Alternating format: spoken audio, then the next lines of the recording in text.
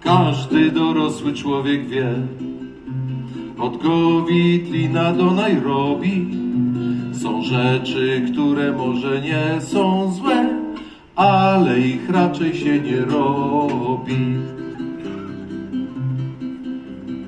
Nigdy łysego się nie czesze, w pustym basenie się nie pływa, wisielca drugi raz nie wiesza i martwych dziewcząt nie podrywa. Żółtego śniegu nie je się i padłych koni nie dobija. Nie śpiewa wtedy się, kiedy się je, a domu w domu nie rozbija.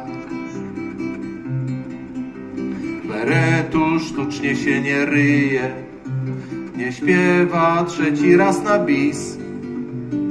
Bitej śmietany się nie bije i nie głosuje się na PiS.